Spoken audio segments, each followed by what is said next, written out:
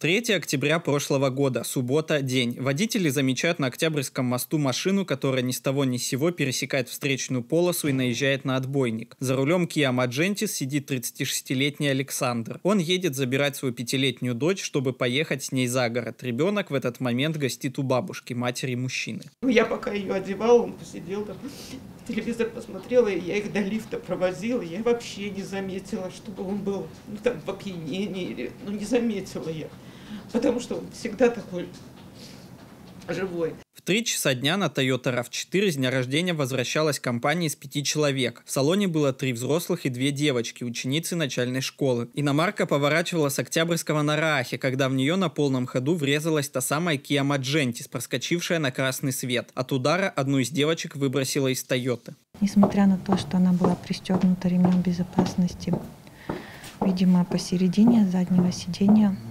слишком высоко ремень идет из потолка на данном автомобиле. Я выскочила на улицу, увидела, что она лежит на асфальте. Сразу же было шоковое состояние, подбежала к ней, почувствовала, потрогала за руку, есть ли пульс.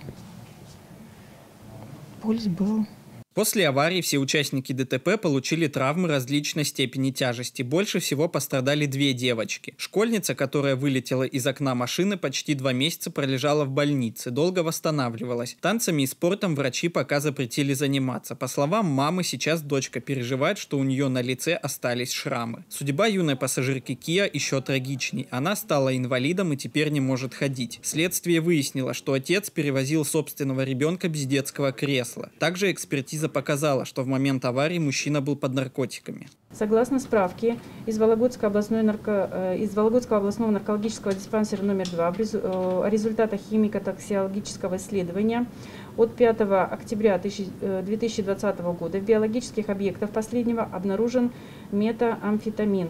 Супруга подозреваемого не живет с ним с февраля 2020-го. Заявление о разводе уже подано. По словам женщины, муж ее бил, часто выпивал. Однако о наркотиках ей ничего не известно. С детьми у пары еще есть сын Череповчанка, обвиняемому видеться разрешала. В день аварии женщина была на работе, а трагедию узнала по пути домой. Они отбирали до этого? Они... Да? До этого был лишен несколько был раз. лишен? Да. Я даже не помню. А за что лишили его водительских прав? Ну, алкогольное опьянение. Законным представителем потерпевшей будет заявлен гражданский иск. Вот. Его сумма составляет 1 миллион рублей.